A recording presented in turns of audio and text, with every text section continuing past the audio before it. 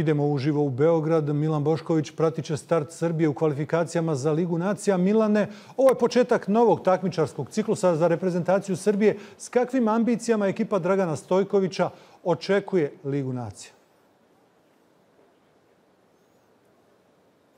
Mustafa sa najvišim mogućim i to je na neki način pristup koji od svog dolaska na mesto selektora ima Dragan Stojković, pristup koji se Srbiji isplatio gledajući nastup u kvalifikacijama za svetsko prvenstvo gde je Srbija triumfovala u grupi ispred Portugala.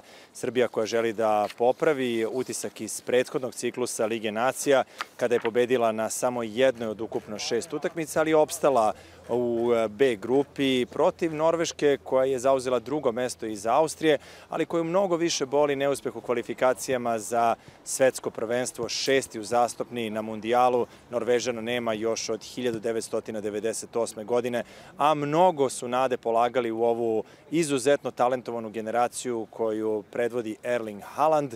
Tu su još i Odegaard, momak koji nastupa za Arsenal, kao i Sorlot, član Leipciga. Dakle, vrlo, vrlo dinamična jedna reprezentacija, napadački orijentisana, koja je to pokazala u ostalom u posljednjoj prijateljskoj utakmici koju su odigrali protiv Jermenije i koju su dobili rezultatom 9-0. Mnogi su skloni da kažu da će Srbija ovu Ligu nacija iskoristiti kao pripreme za predstojeći mundijal. Međutim, Liga nacija i u prošlosti Srbiji mogla da donese plasman na euro, gde je stigla do baraža, gde je pobedila Norvešku u prvoj rundi, a zatim i bila eliminisana kasnije od Škotske. Tako da Dragan Stojković nije pozvao Vlahovića zbog povrede, ali svi ostali najbolji su tu uz trojicu debitanata koji su dobili poziv, a vidjet ćemo i dali šansu u narednih 13 dana koliko će Srbi imati na raspolaganju da odigra četiri utakmice. Ovo je prva od njih, a naredna je već u nedelju na ovom istom stadionu protiv Švedske. Mustafa. Uvijek ovakve utakmice imaju i svoje pojedinačne duele. Tako će večerašnji meč obilježiti duel dvije sjajne nogometne devetke Aleksandra Mitrovića i pomenutog Erlinga Halanda. Šta se od njih dvojice može očekivati? Ko je u bojoj formi? Ko bi mogao večeras da bude u golgeterskoj pravoj formi?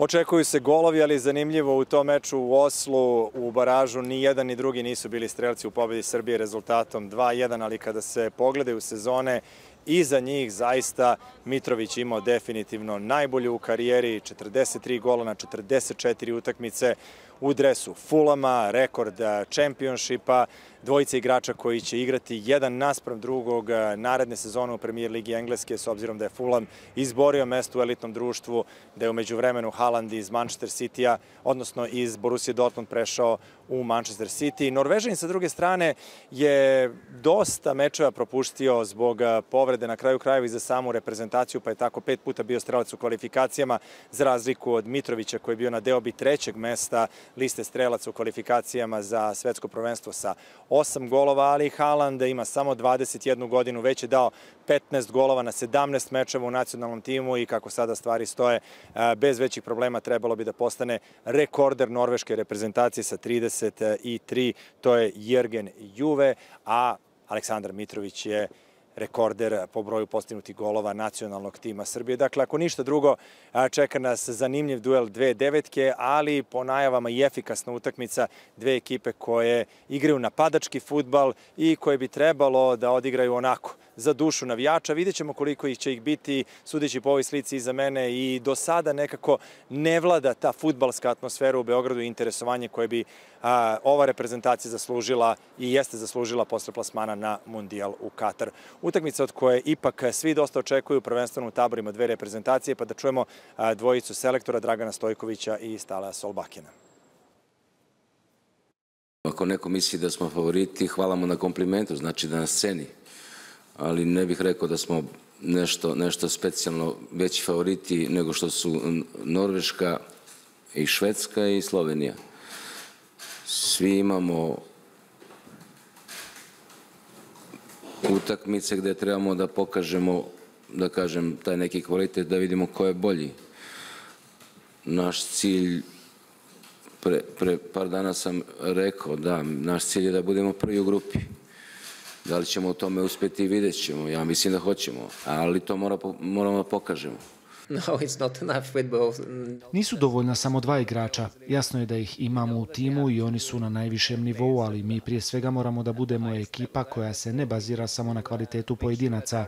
U prethodnim kvalifikacijama Haaland je odigrao četiri ili pet utakmica od ukupno deset, od toga dvije protiv Gibraltara. Dakle, mi moramo da naučimo da igramo bez njega, jer to može da se desi i u Ligi nacija i u narednim kvalifikacijama za futbalski euro. Mi prije svega moramo da budemo tim, a ne skup pojedinaca.